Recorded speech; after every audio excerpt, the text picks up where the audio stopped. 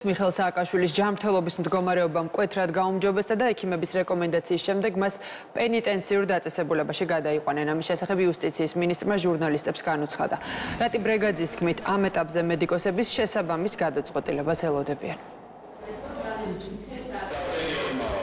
იდასტურებთ ამ დასკვნებს ასევე მოხარული ვართ რა თქმა უნდა მისი ჯანმრთელობის მდგომარეობის მკვეთრად გაუმჯობესებით და როდესაც იქნება ექიმების შესაბამისი გადაწყვეტილება და რეკომენდაცია ის რა თქმა უნდა გადაყვანილი იქნება პენდენციურ დაწესებულებაში